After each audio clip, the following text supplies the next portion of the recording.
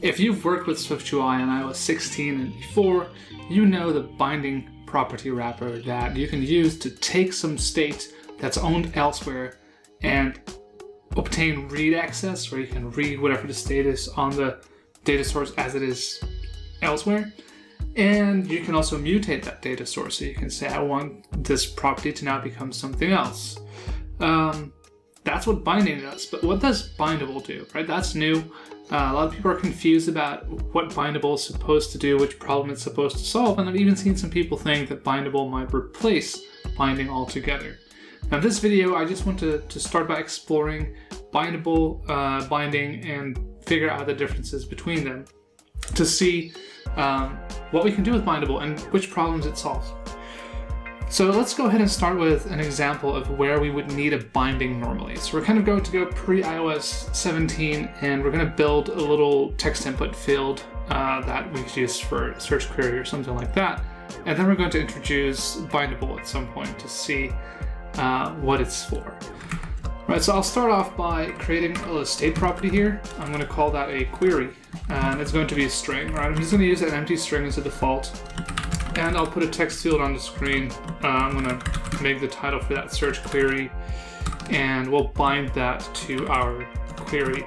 Now I don't like the default look of text fields, so I'm gonna go on ahead and give it a style of round border and I'm gonna give it some padding, right? Just, just so it looks ever so slightly nicer because um, that's just more pleasant to work with. And so as the preview kind of fires up, uh, we can see that I have this search query here and I can type and that updates our state var.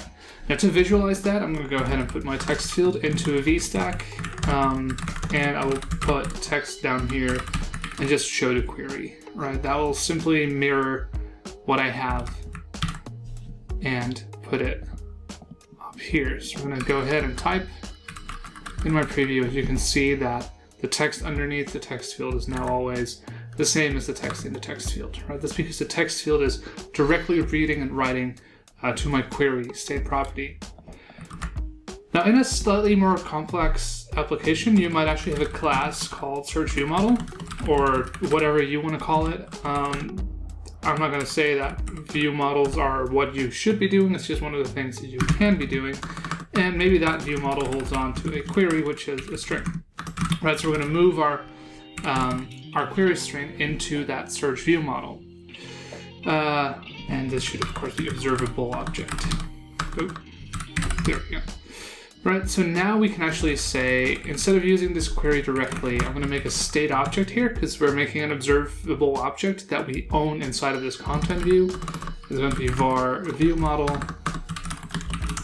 and it's going to be an instance of my search view model. Right, here we go. And now, of course, I cannot find dollar $query anymore because that moved into the view model. So to create my binding, I want to say dollar $view model dot query, right? So now instead of reading the, the, query property from my content view, I'm going to read and mutate the query property on my view model. And of course, this text will now also become view model dot query. And if we build the app now, we can see that things work out just fine. Now, in somewhat bigger apps, again, uh, you might actually move this text field elsewhere, right? So we're gonna, for the sake of this example, we're gonna make a struct, we're gonna call this search field, and it's going to be a view. And we're kind of going to, to emulate what's happening inside of this text field, right? Um, so we're gonna go ahead and say at binding var query is going to be of type string, but somebody else is going to provide this to us, right? Because a binding means that somebody else owns this state. I want to be able to read and manipulate that state, but it's not mine, right? Somebody else owns this. And so for the body of this view, I will actually take my text field that I wrote earlier, and I'm going to go ahead and move that into here. But and then I can make an instance of my search field um, and I can pass that, the binding to my view model query.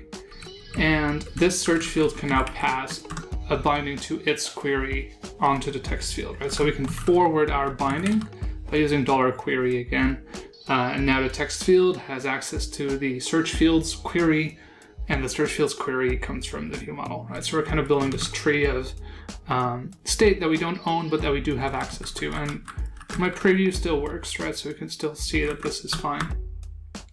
Now, all of this uses pre iOS 17 constructs. Uh, on iOS 17, we can use something other than observable object to make observable objects. We can use the observable macro, we can say at observable uh, on our class, and we can get rid of this observable object conformance, and we can get rid of that published property. Right, so now we just have an observable view model that has one property called query. And to make an instance of that inside of our content view, we can no longer use state object. So we'll be using at state, right? Because this is a property that we own, uh, we created, and it's ours. It's our state. So we, we have to mark this as at state so that SwiftUI knows to reuse the current value uh, for the duration of content view being alive. So we're going to say at state var view model equals search model. It's going to look pretty much the same as before, but now whenever we change one of the properties on view model uh, inside of our struct, and if that struct needs the property, right, so in this case, if we have query and we access query in our view's body, then the observable macro will tell SwiftUI to redraw this. It's really kind of neat. Um, but I won't go into too much because it's really a topic for another video. So here we have our at state var view model and our code still works. So that's great, right? So we can make bindings to our search view model's query directly because we wrapped it in state. Now, if your app grows a lot and you make more and more reusable components and more and more small views, you might actually want to have a struct uh, search view, right? Um, that's going to encapsulate all the information about search. And it might not own its view model, so it might be passed a let view model of type search view model. And um, it will have a var body, some view. And I'll actually just put a little hello world in there for now, because I first want to show you how to pass this observable object around, and then I want to show you an issue that we'll run into, right? So I'm going to put hello world here, and to make my search view inside of my content view, I can now simply pass my view model and if at any point my view model changes, uh, my, my view will simply redraw and update, right? So that's great. Now the problem here is whenever I want to use my search field in here and I have to pass a binding of type string to the search field, that your initial reaction might say dollar view model dot query. Uh, that creates our binding. That's how we always do it. But sadly, um, we cannot find dollar $view model in scope, and that's because this dollar prefix only exists when we wrap this, this view model with a property wrapper. Because the dollar prefix gives us access to something called a projected value. Again, I'm not going to get into that, just like I'm not going to get into observable, because that is yet another video. I kind of feel like this might spawn off two or three uh, extra videos. So this is a bit of a problem right now because we have this let. We, we can't make this state because this is not a view model that we own, right? Somebody else owns it and state indicates ownership. So we shouldn't mark this as state. It wouldn't be appropriate. Uh, one way to fix this could be to say, well, fine, we'll create an instance of binding ourselves. And you can totally do that. And you can pass a separate getter and setter closure. So on get, we would pass view model query, and on set, we would get a new value and we would say view model dot query equals new value. And we can run this code. Uh, that would work, right? Our preview was paused, but we can resume it, and there you have it. This works completely fine. So we can actually see, this is quite interesting, that by reading uh, the query value from our view model, and by mutating the query value on our view model, SwiftUI is actually correctly redrawing all of our views. So that's cool, right? We can see that the observable macro works here. However, as you can imagine, writing uh, this binding yourself, it's error prone, it's tedious, it's really not what you want to be doing.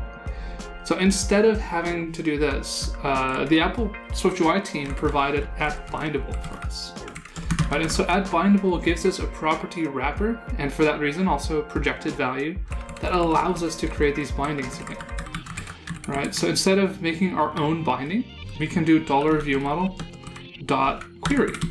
and what's kind of interesting here is that um, the, the bindable property wrapper on the inside will pretty much do the exact same thing I just did, which is to take the key path or property that I'm using here, and it's making a getter and setter for me. So whenever we get the value for our binding, we get view model query. Whenever we set, we set view model query.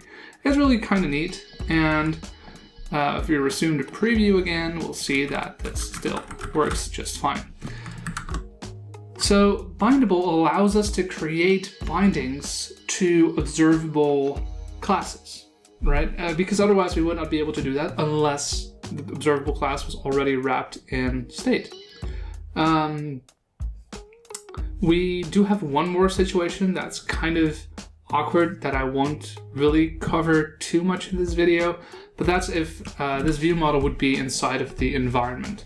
Right, just to kind of code that up a little bit for you, let's say we have at environment and then slash dot search view model, because of course this doesn't really exist in here. Uh, search view model var view model. If that's how you're passing this view model around, you can't make a binding like this. If this is what you have, you have to go add binding var uh, bindable VM, right? Just short name uh, equals uh, view model. Right, and this would take the view model from the environment, wrap it in the bindable. Sorry about that. This should be at bindable var bindable VM equals view model, and that wraps my view model in the bindable property wrapper, allowing me to create bindings again. It is quite tedious that you have to do this for stuff that you get from the environment, but I haven't found a better way to do this just yet. So there you have it. Um, bindable allows you to create bindings to observable classes that otherwise are not bindable, right? If they're state annotated, I already set this, um, then you can totally make bindings already. If you would otherwise use a let, um, then bindable can help you to create bindings to that property. Don't go marking everything bindable if you pass it around. If you don't need to make a binding to a property on, in this case, the search view model, there's no point in annotating with bindable, right? You can just make it a let, only if you need that binding should you mark this as at bindable. And as you can see, this does not replace or conflict with binding at all. Binding still fulfills the same role it did before. It allows you to read state that is owned externally, and it allows you to mutate state that is owned externally. If you want to learn more about the property wrappers that SwiftUI provides, I have a website called SwiftUI Property Wrappers that I'll put up on the screen right now. Uh, you can go there to see all of the property wrappers that are available uh, to you in SwiftUI. And uh, you can really use the website to understand all of the property wrappers much better. Thank you for watching, and see you in the next one.